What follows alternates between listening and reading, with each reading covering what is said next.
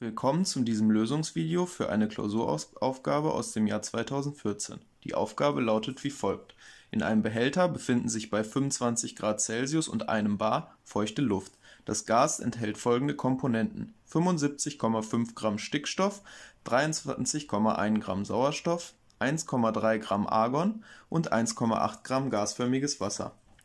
Nun sollen wir den Wasserdampfpartialdruck in dieser Luft berechnen und anschließend den Taupunkt dieser Luft ermitteln das geht wie folgt: Zunächst einmal benötigen wir sämtliche Molmassen aller unserer in der Luft vorhandenen Komponenten.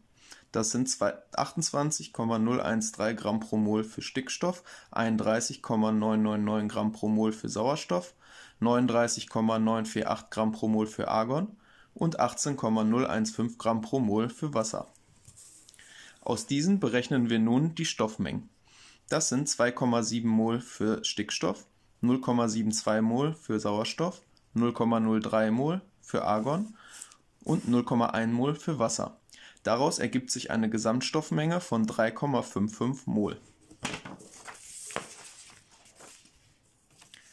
Anschließend berechnen wir den Molenbruch mit Hilfe dieser Formel. Dort setzen wir unsere Stoffmenge für Wasser ein, da wir den Partialdruck von Wasser berechnen wollen. Dieser beträgt 0,028.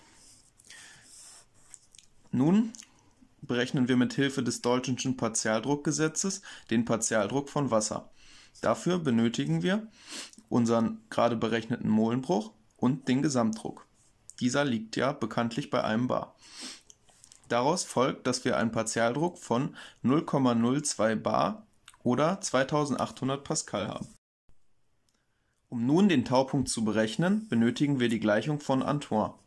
Diese ist hier bereits so umgestellt, dass wir unser Ergebnis direkt in Grad Celsius erhalten. Hier habe ich dann den Partialdruck für P eingesetzt, die Formel ausgerechnet und erhalte eine Temperatur von 22,9 Grad Celsius.